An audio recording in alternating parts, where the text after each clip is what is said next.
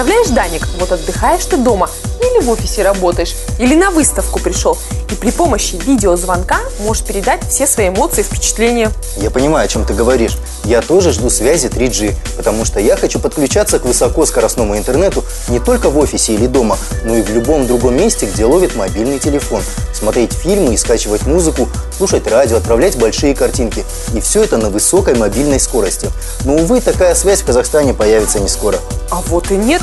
Мне Андрей сказал, что скоро, в апреле этого года. Хотя ты сейчас сам все узнаешь о положении связи 3G и о том, что это такое. Далее в сюжете.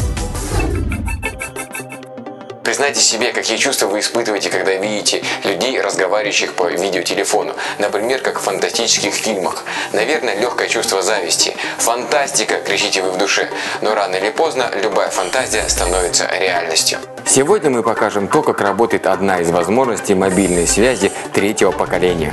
Все началось в 80-х годах, когда появилась сотовая связь. Ей сразу же присвоили категорию «первое поколение». Связь эта была аналоговая, номера были вшиты в трубки, то есть их нельзя было менять, а по радиоволнам на ваш телефонный разговор мог настроиться и подслушать любой желающий. Во втором поколении связь стала более качественной за счет оцифровки звука. Абоненты получили конфиденциальность переговоров, широкий выбор телефонных аппаратов. Это поколение мы активно используем сегодня в повседневной жизни. Главным отличием 3G сетей стала индивидуализация. Каждому абоненту отныне присваивается IP-адрес, подобно компьютеру в интернете, а оплата взимается за трафик, а не за проведенное время в глобальной паутине. В сети 3G предоставляются все те же сервисы, что и в сети 2G. Это голосовая телефония, передача данных, но передача данных с более высокой скоростью.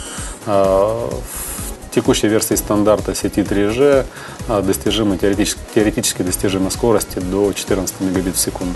Ну, скажем, трек с песней размером 3 мегабайта в сети 2G будет скачиваться с интернета порядка 3 минут, за время 3, от 3 до 5 минут, то в сети 3G все это займет порядка 10-15 секунд. Другое замечательное применение 3G – тот самый видеозвонок. Сейчас телефоны со встроенными камерами есть практически у всех. Уверены, что после того, как введут сеть 3G, говорить по телефону станет намного веселее. Мы пробовали. Впечатляет. Ну вот в сети 3G у нас появляется новая возможность выбрать видеовызов. Выбираем видеовызов.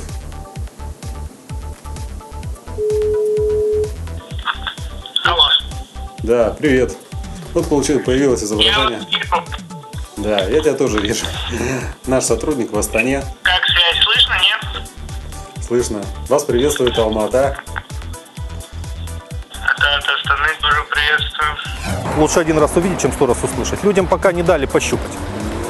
А 3G знают только те, кто э, был за границей, скажем так, и там пользовался услугами местных сотовых операторов. Они знают, что такое 3G.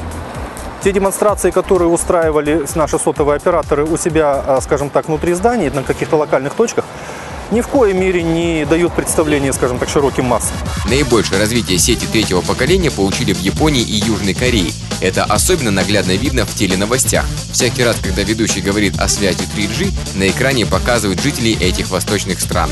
Передвигающиеся в метро, гуляющих в парке, спешащих на работу, все они непременно с мобильным телефоном в руках, с телепрограммами на экране.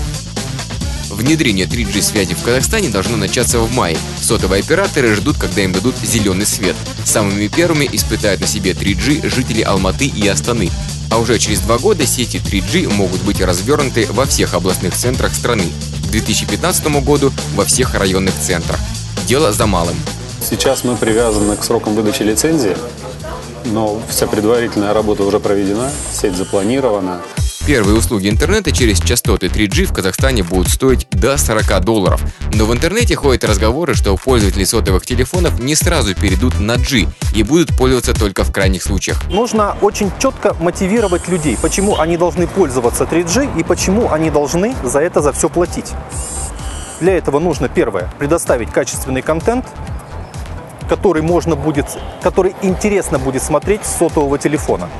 Потому что Мегафон рано или поздно все равно захватит всю страну.